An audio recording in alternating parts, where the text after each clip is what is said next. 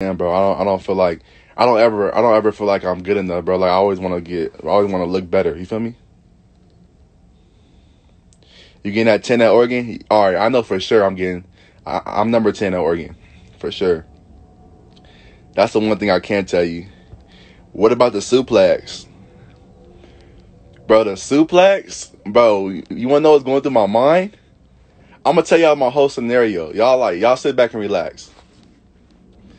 So bro, like it was like the beginning of the game and his little so the, the dude I suplex, he a little like little little shrimp for like so the dude I suplex.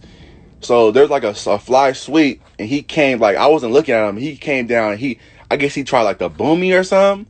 And like he he didn't boom me nothing. Like this thinking like he hit me like he kind of like chip, chipped me off.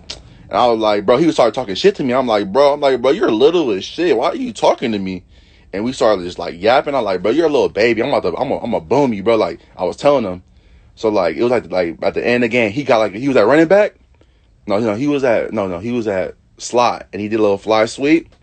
Bro, when I seen him grab the bro, when I got went up the hole, bro, I seen him had the ball, have the ball. I was like, bro, I'm about to fuck this nigga. So I grabbed him.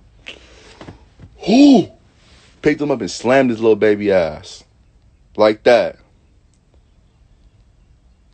Cause he tried to he tried to talk to me like he was like he was like a guy or something. I'm like, bro, you're you're a baby.